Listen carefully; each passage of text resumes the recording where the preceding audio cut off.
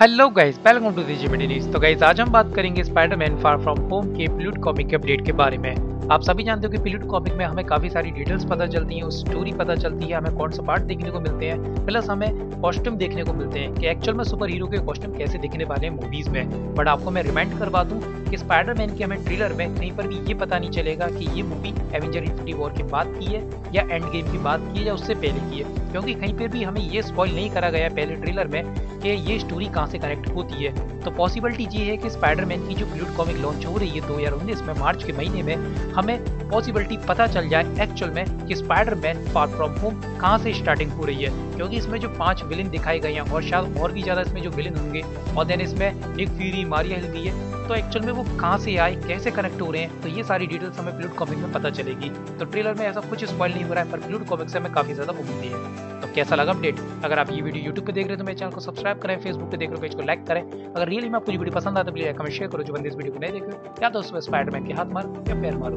पर और कुछ मत मानना। बाय जा रहा